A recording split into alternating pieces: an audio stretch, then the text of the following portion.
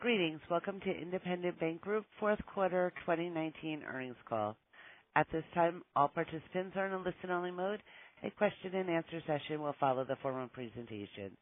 If anyone should require operator assistance during the conference, please press star zero on your telephone keypad. Please note this conference is being recorded. I will now turn the conference over to your host, Paul Langdale, Vice President, Investor Relations. Thank you. You may begin. Good morning, everyone. I am Paul Langdale, Senior Vice President and Director of Corporate Development for Independent Bank Group, and I would like to welcome you to the Independent Bank Group fourth quarter 2019 earnings call. We appreciate you joining us. The related earnings press release and a slide presentation can be accessed on our website at ibtx.com. I would like to remind you that remarks made today may include forward-looking statements. Those statements are subject to risks and uncertainties that could cause actual and expected results to differ. We intend such statements to be covered by safe harbor provisions for forward-looking statements. Please see page five of the text in the release or page two of the slide presentation for our safe harbor statement. All comments made during today's call are subject to that statement. Please note that if we give guidance about future results, that guidance will only be a statement of management's beliefs at the time the statement is made, and we do not publicly update guidance. In this call, we will discuss a number of financial measures considered to be non-GAAP under the SEC's rules. Reconciliations of these financial measures to the most directly comparable GAAP financial measures are included in our release. I am joined this morning by David Brooks, our Chairman, CEO, and President, Dan Brooks, our Vice Chairman and Chief Risk Officer, and Michelle Hickox, Executive Vice President and CFO. At the end of their remarks, David will open the call to questions. With that, I will turn it over to David. Thank you, Paul. Good morning, everyone, and thank you for joining us today. As always, I will touch on some highlights for the quarter. Michelle will then cover the operating results, and Dan is here to cover the loan portfolio. I will be back at the end with closing remarks and to open it up for questions. 2019 was another solid year of continued growth and financial performance for Independent Bank Group. We had a strong finish to the year with fourth quarter adjusted earnings per share of $1.32, adjusted return on average assets of 1.49%, and adjusted return on tangible equity of 18.32%. Throughout 2019, we executed on our strategy of disciplined, healthy growth. We organically grew our deposits by 10.4% for the year, which is reflective of our commitment to maintain a granular funding base and continue to minimize the pressure on our net interest margin. Organic loan growth was 4.8% for 2019, which was impacted by elevated payoffs in the fourth quarter as investors sold CRE assets to take advantage of low cap rates. Despite this headwind, the amount of total new loans funded in the fourth quarter was 11.7% higher than the linked quarter. This shows that across our footprint, our teams continue to source quality credits while maintaining the same conservative underwriting standards that we have that have served us well over these last three decades. I'll now turn the call over to Michelle for more details on operating results for the quarter. Thank you, David. Good morning, everyone. Please note that slide six of the presentation includes selected financial data for the quarter. Our fourth quarter adjusted net income was 56.8 million, or $1.32 per diluted share, compared with 34.1 million or $1.12 per diluted share for the fourth quarter last year, and 57.8 million or $1.35 per diluted share for the linked quarter. As you can see on slide eight, net interest income was 128.1 million in the fourth quarter, up from 87.1 million in the fourth quarter 2018, and up from 125.4 million in the linked quarter. The net interest margin was 3.81% for the fourth quarter, compared to 3.84% for the linked quarter and 3.98% fourth quarter last year. The NIM, excluding all purchased loan accretion, decreased five basis points from 3.54% in the linked quarter to 3.49%, primarily due to continued pressure on loan yields driven by competition and the continued depression of longer-term index rates. Total non-interest income was 18.3 million, compared to 9.9 million in the fourth quarter of 2018 and 27.3 million in the linked quarter. Recall that we sold two loan pools and a branch in July that generated gains of 8.3 million in Q3 and inflated non-interest income. The remaining decrease is primarily related to mortgage banking income, with an offset for a gain of 1.3 million on the sale of our trust business. Total non-interest expense was 80.3 million for the fourth quarter, an increase of 3.4 million from the linked quarter.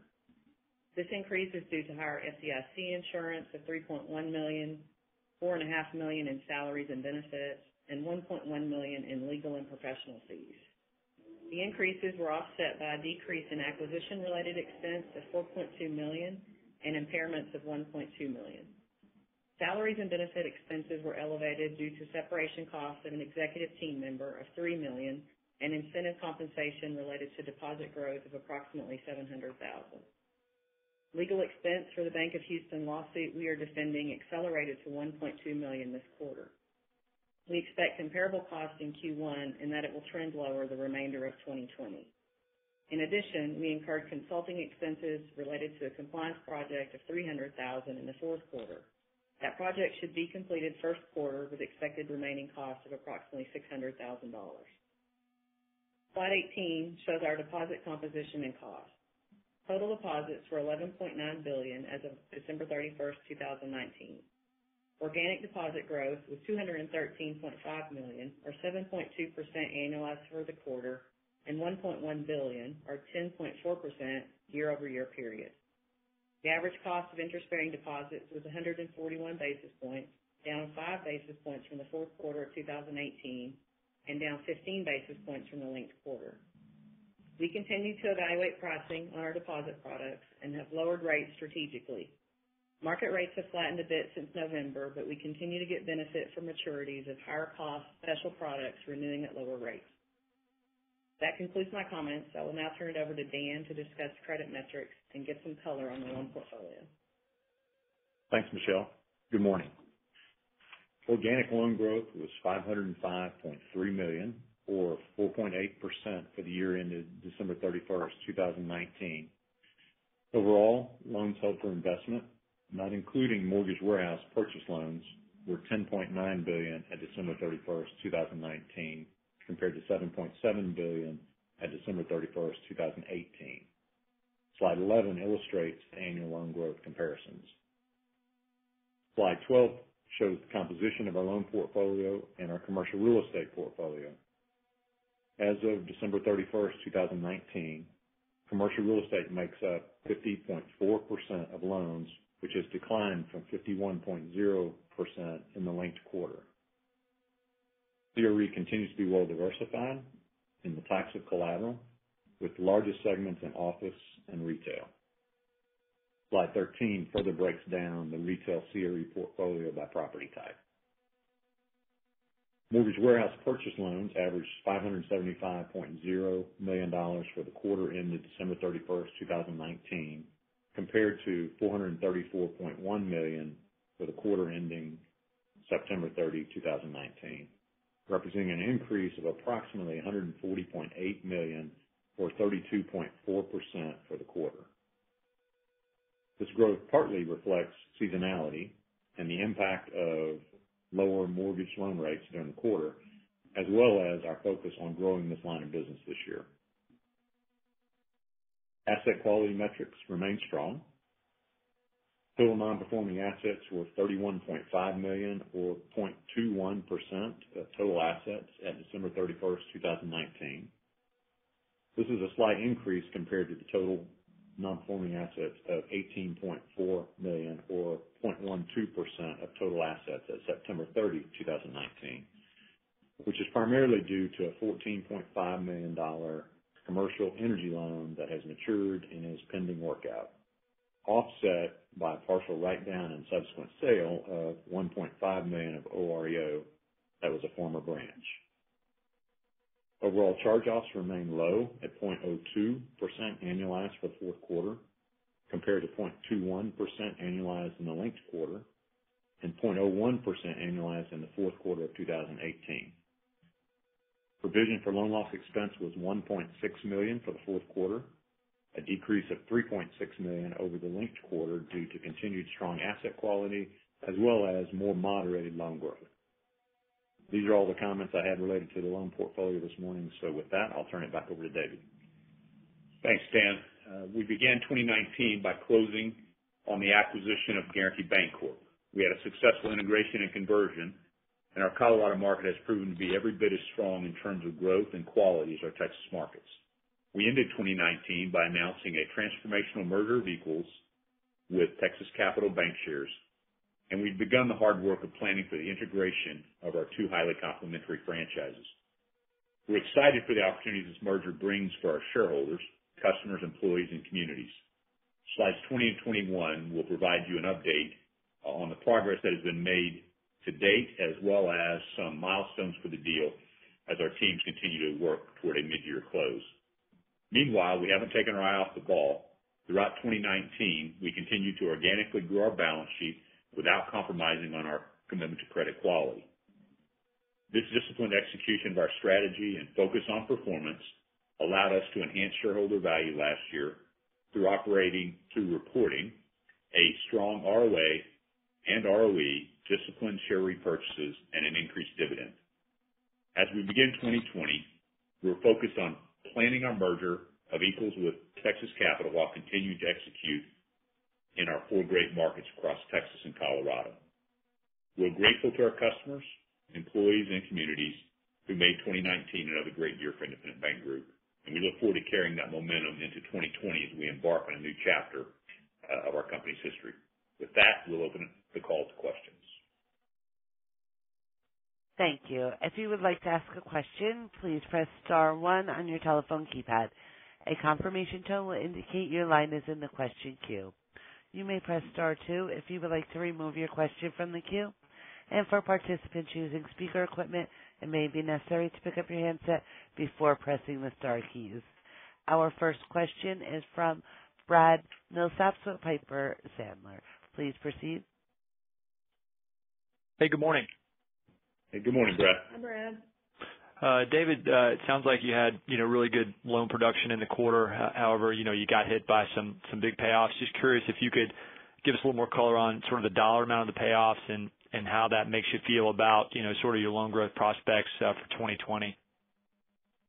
Yes, Brad, thanks. Good question. We our loan generation production was 10% up for the quarter, for the fourth quarter versus the third quarter in terms of new loans we booked. But our payoffs were $120 million in excess of what they were in the uh, third quarter. So, you know, our we put on uh, uh, $50 million more loans in the fourth quarter than we did in the third, but we had $120 million more payoffs, so a net of you know, minus $70 million because of the excess payoffs. So all that to say, our loan officers are you know, are hustling. They're doing a great job of building customer relationships, expanding customer relationships.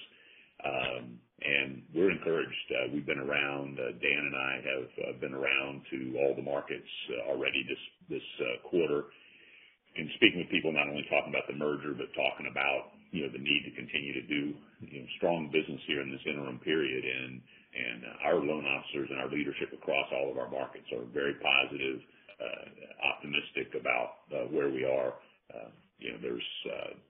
A lot of those payoffs, Brad, were related to sale of assets.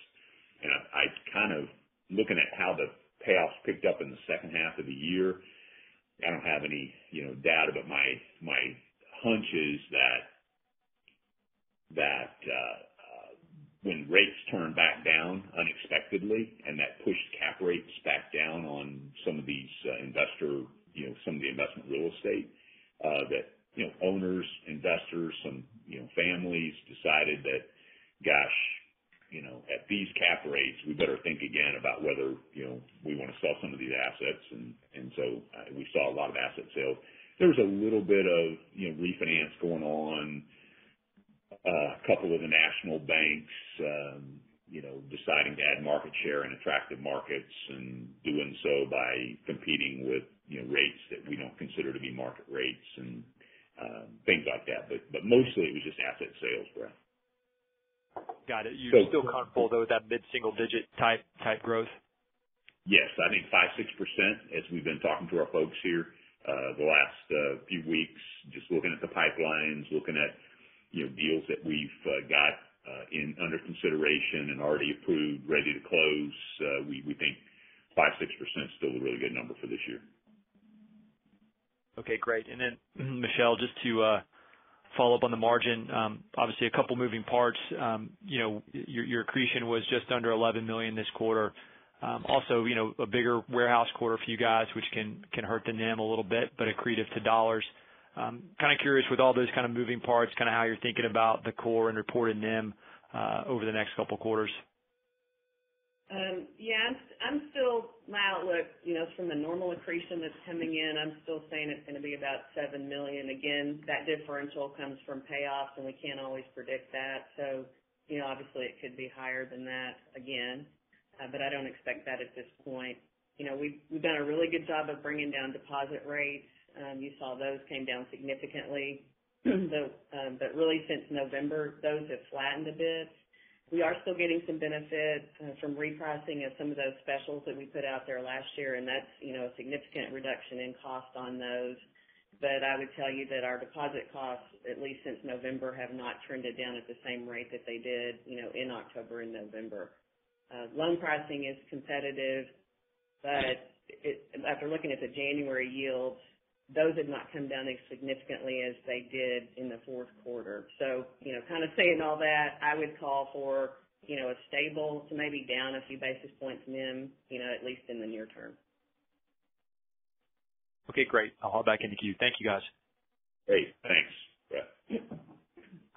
Our next question is from Michael Young with SunTrust Robinson Humphrey. Please proceed. Hey, thanks. Good morning. Good morning, Michael. Um, wanted to just ask a quick follow-up on the pay downs. You kind of mentioned, um, particularly some money center banks getting involved, but could you you know, maybe just characterize it geographically if there's been any, you know, more concentrations of payoffs or pay downs in certain markets? I think the payoffs have been really across the entire footprint, Michael. Um, we've not seen it in a specific uh, state or uh, market that we serve. We have seen, just from a high level,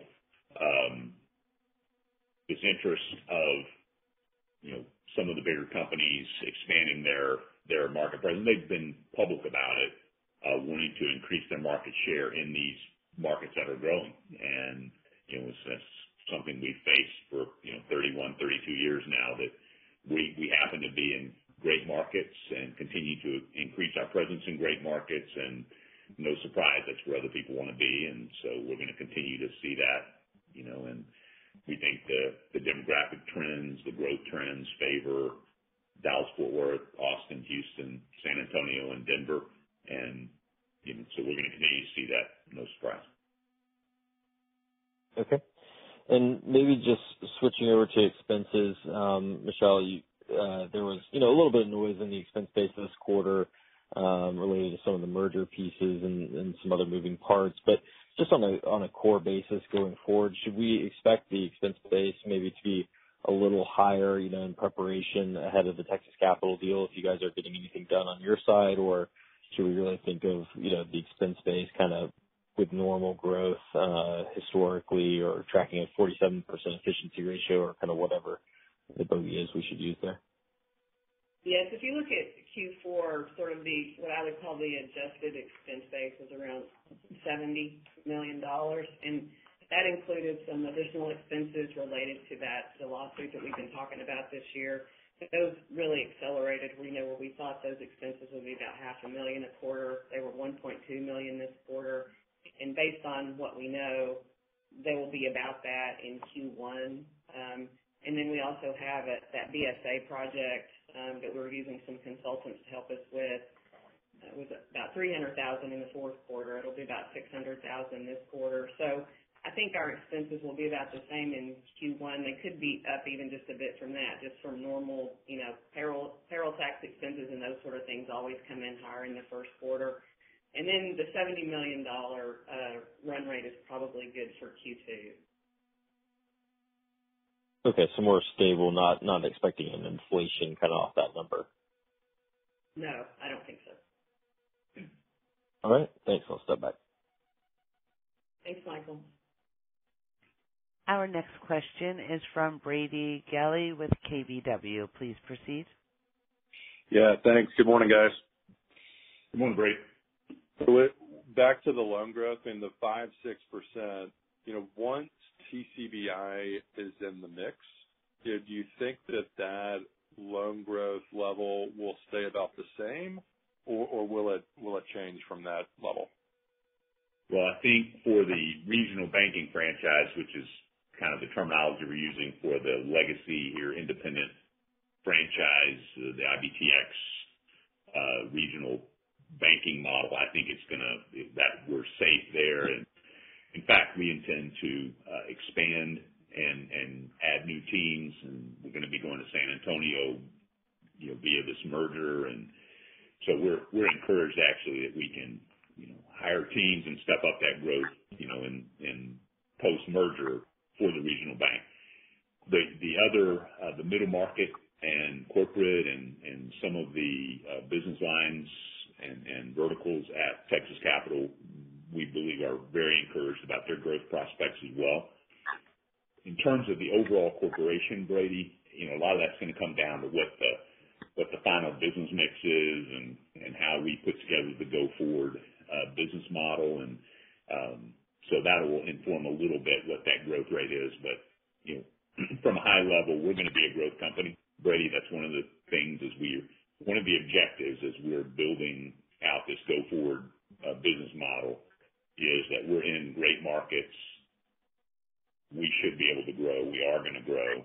You know, whether it's 5%-6% or 8%-10% or, what those numbers are, we'll be able to get more clarity once we have the, you know, once we can paint the roadmap to exactly where we're going over the next two years, then I think we can give better, you know, guidance or not guidance. Uh, if the lawyers are listening, I didn't say guidance. Um, But uh, yeah, we'll be able to give a clearer picture of what we think about the growth prospects of the pro forma company once we get a little more, you know, clarity around exactly what that looks like.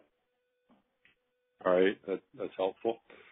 And then, you know, David, I have your year-end 2020 tangible book value with TCBI at about $40. That puts your stock at, you know, 1.3 times tangible, which uh, doesn't seem right for a company that's doing a high teens uh, return on tangible common equity. Uh, so my question is on the buyback. You know, your stock is is notably inexpensive. I know the buyback can be tough when you have a deal pending, but is there the opportunity for you guys to buy back stock before the TCBI deal closes? And if not, you know, if the stock stays this cheap post-closing, do you think you'll be active on the buyback front? Well, I will agree with you, Brady, that uh, we think the stock price is dislocated, but uh, I don't have a PhD in whatever you have to have to figure that out, so I'm not gonna uh, speculate on on exactly why that is. We we remain extremely confident in our model, extremely confident in, you know, what we've told the market regarding this merger and what the performance of our company is gonna be, you know, in the short and midterm. Uh, that said, um, yes, we have a uh, a policy, as you know, of taking excess capital and returning it to the shareholders via, you know, dividends and a buyback program. And so um you know, that's a part of this whole equation, Brady, as we think about the go-forward company. Um, you know, depending on, you know, what the pro forma size is of the of the company, uh, once we, you know, close on the transaction get everything adjusted the way we want it to over the next six to 18 months, uh, I do expect that there's gonna be uh, some significant cash flow coming off the combined organization that can be used for uh, stock buybacks. And to the extent that our balance sheet is slightly smaller, that would also free up capital. And and as you allude to, you know, at these kinds of prices, we've never seen, you know, our stock trade at these kinds of, you know, prospective multiples, and we'll be very aggressive in in acquiring back our stock.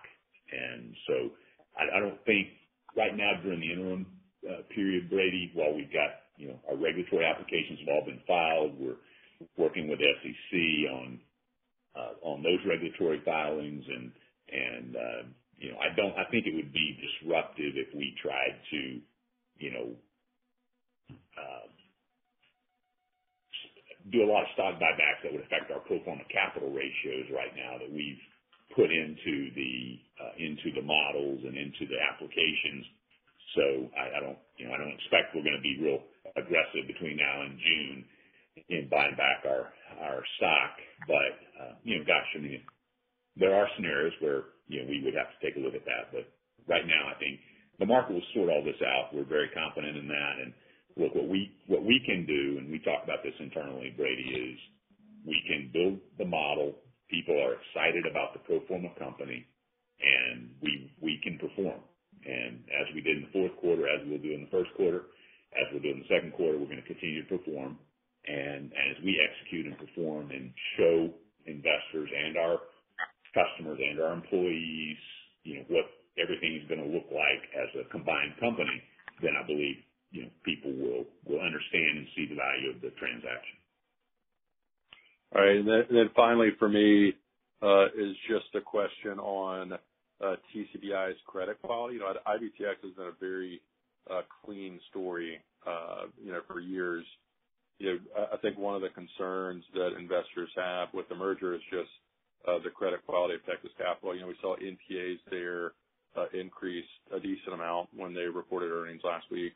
So can you just, you know, again, talk to us about how you got comfortable with uh, TCBI's credit and, you know, anything that you've any additional work or things that you've learned in the last, uh, you know, month or two post-deal announcement?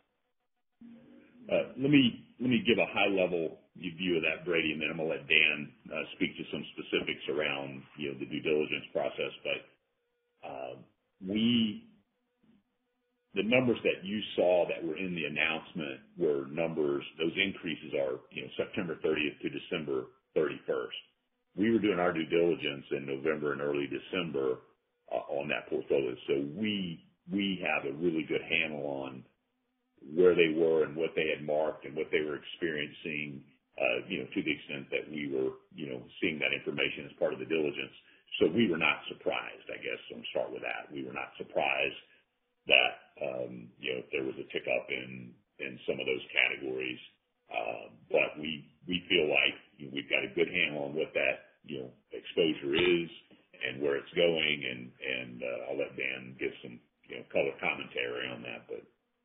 Yeah, not a lot to add to that, David. Uh I would say the the uh due diligence process that we went through certainly confirmed that they are, you know, working hard to uh, assess their portfolio constantly, that they uh, understand what their risks are and are appropriately uh, grading those. And so I don't think, as David said, I don't think there was any surprise in that, and I think they're managing that accordingly. Yeah. And they're, you know, they're gonna continue to manage. We have a lot of confidence in their leadership there. They're gonna continue to manage, you know, their credit appropriately between now and the merger. We believe we've got a handle at a high level on what the, you know, overall exposure and risk of both our portfolio and their portfolio is.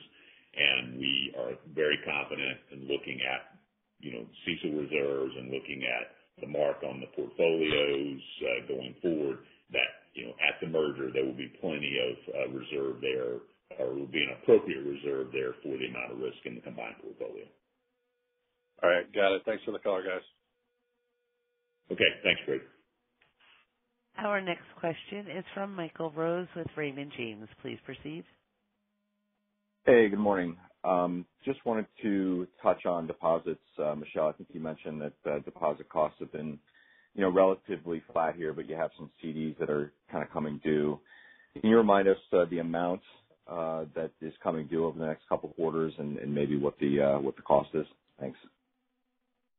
Uh, I don't have the exact number of those dollars, Michael, but if you remember, you know, we had some specials that we went out last year, you know, first quarter that were paying 2.65%-2.70%.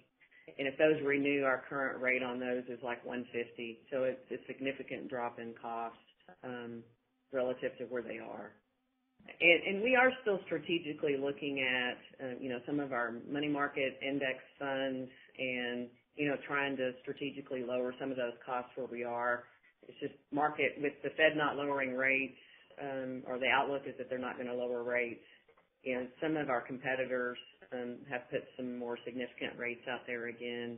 Um, not across the board, but in certain markets, you know, we have gotten some feedback that, you know, people have been trying to gather deposits. So it's just been a little more challenging lowering the rates at the same significance that we were able to in October and November. I still expect that our cost of funds is gonna come down a bit this quarter. Okay, that's helpful. Maybe as a follow-up, uh, TCBI rolled out a new online deposit platform, you know, last week.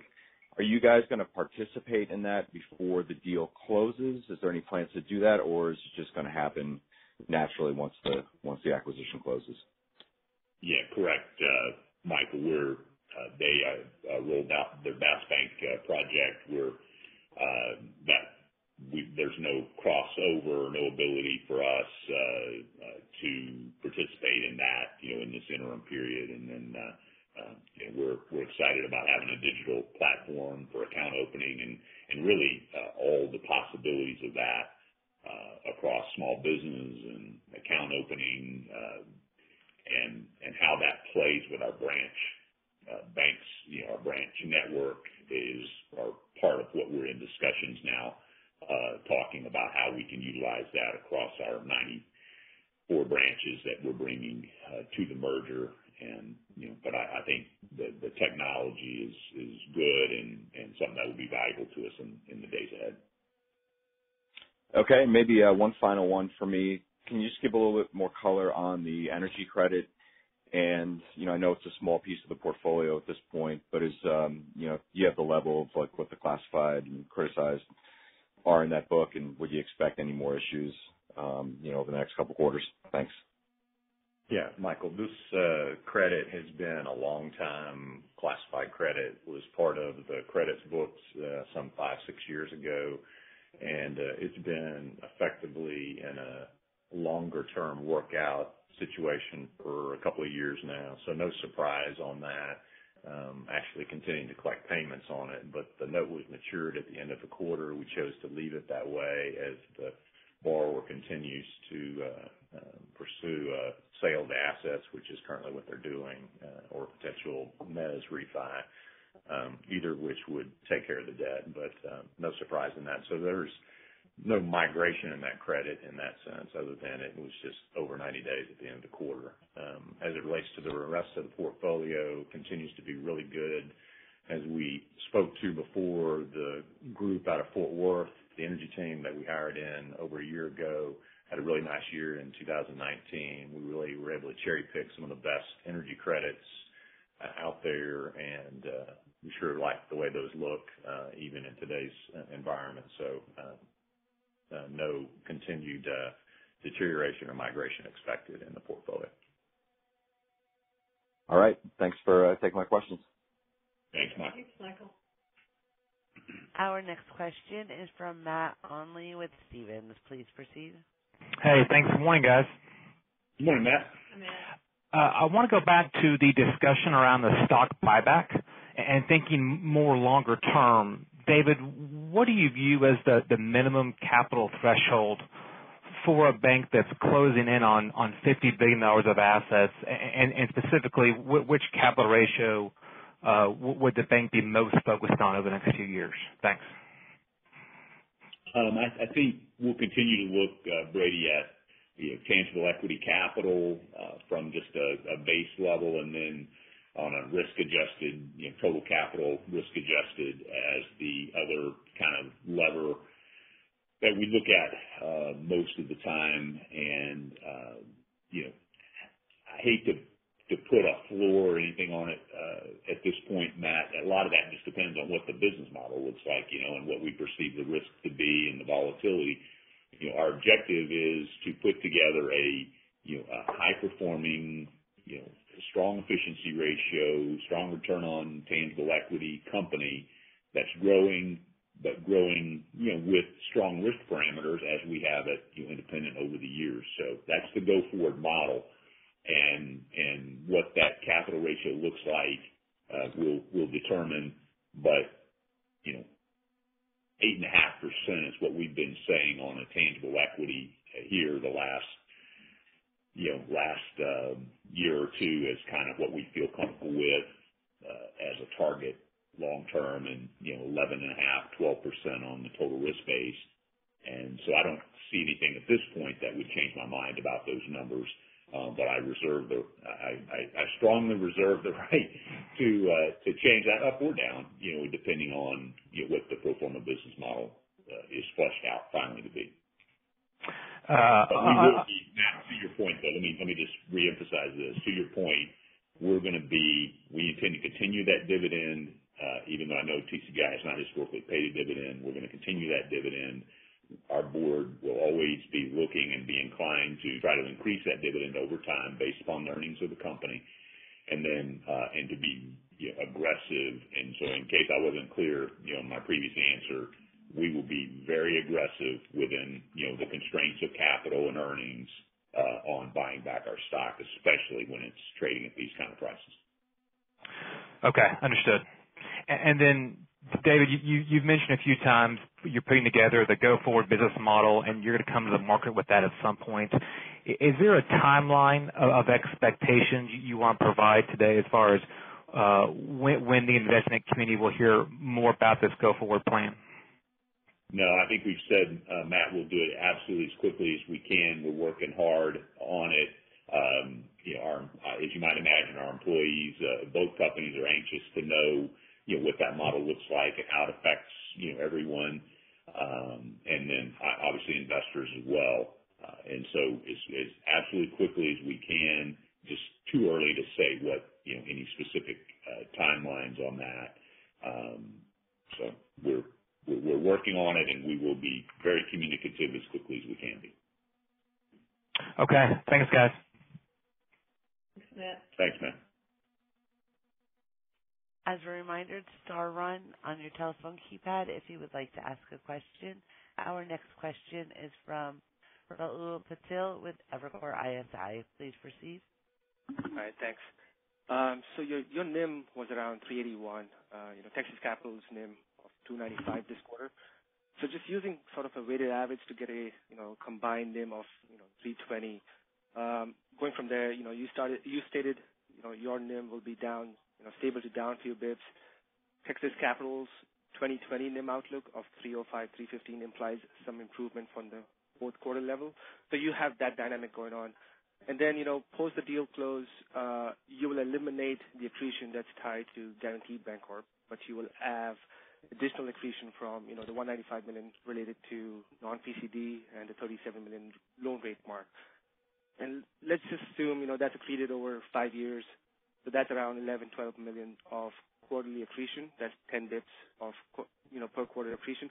So I'm just trying to get a sense for the first full quarter post the deal close. Is it fair to think about the NIM starting point of around 325? Is that a fair assessment?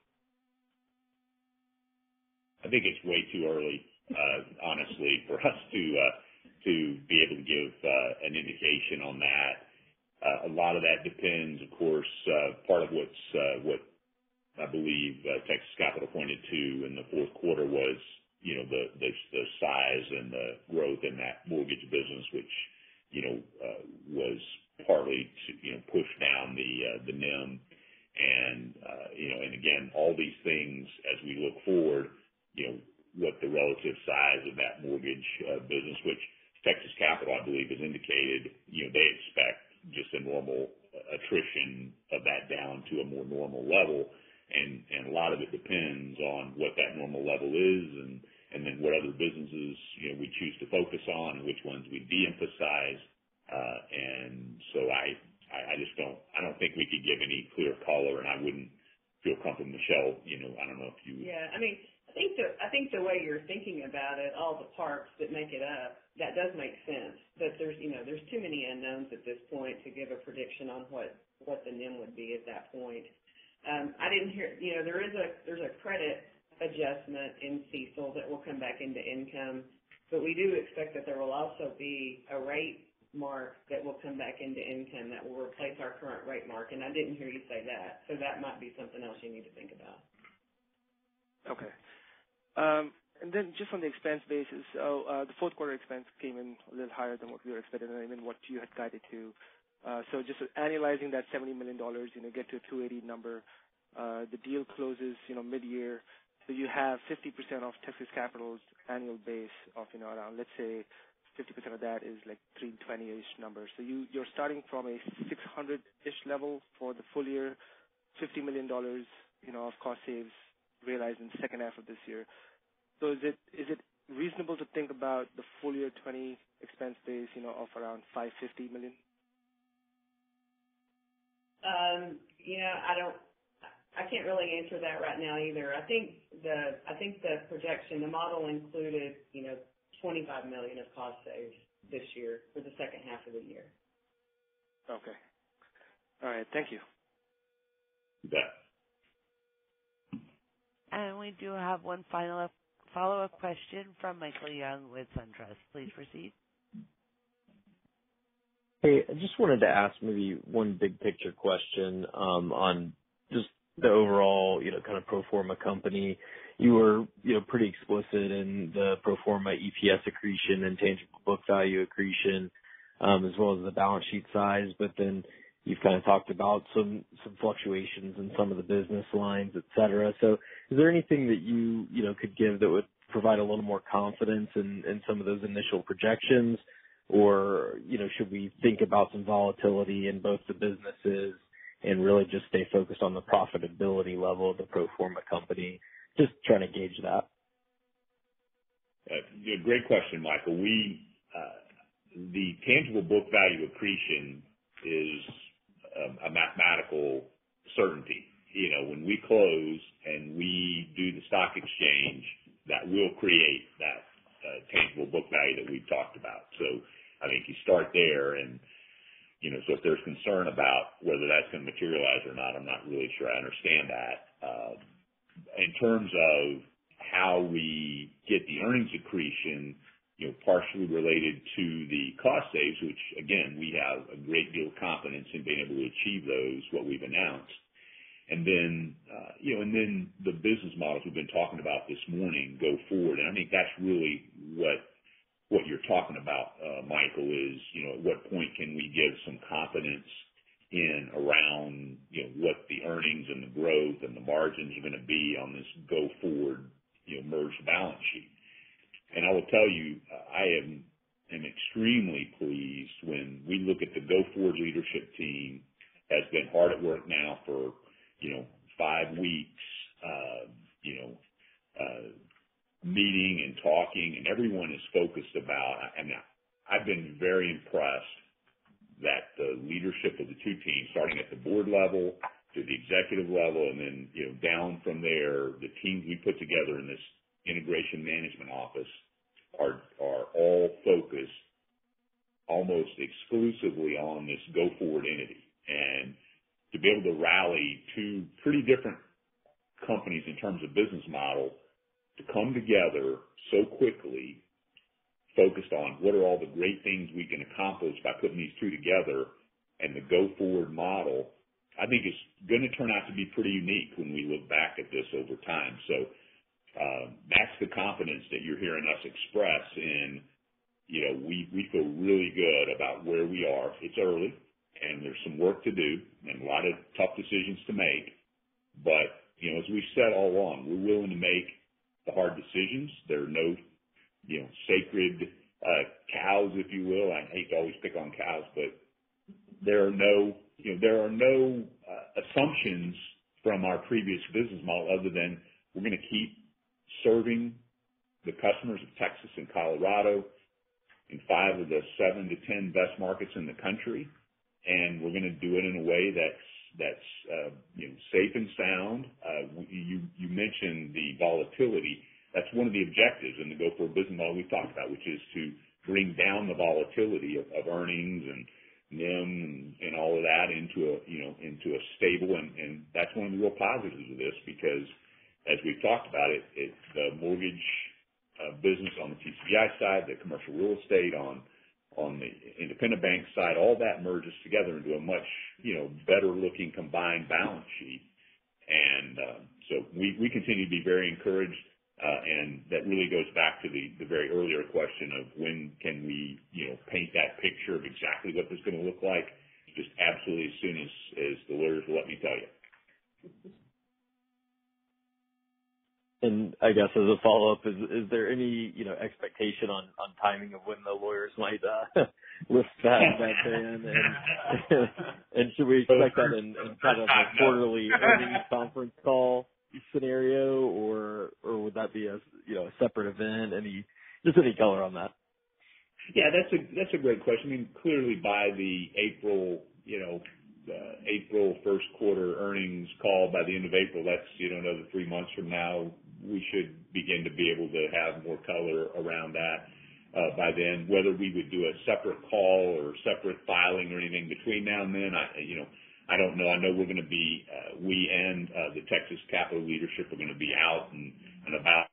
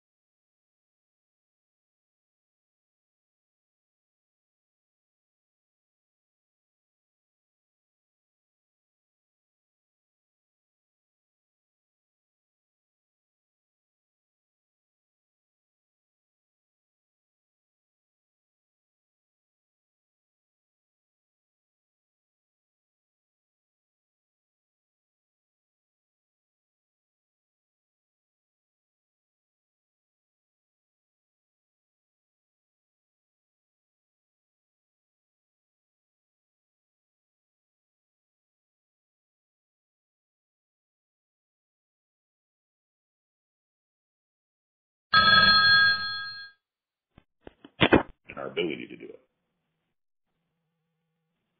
Okay, David. Thank you for all that color. I appreciate it. Thanks, Mike. We have reached the end of our question and answer session. I would like to turn the call back over to David for closing remarks. Thank you very much. Uh, really appreciate everyone being on this morning. It's an exciting time for us, and and I appreciate your patience, uh, and I look forward to seeing uh, the investors and analysts on our travels here this spring. Um, Thanks for your interest in the uh in Independent Bank and in our proposed combination with another great company in Texas Capital. So have a great day. Thanks. Thank you. This concludes today's conference. You may disconnect your lines at this time, and thank you for your participation.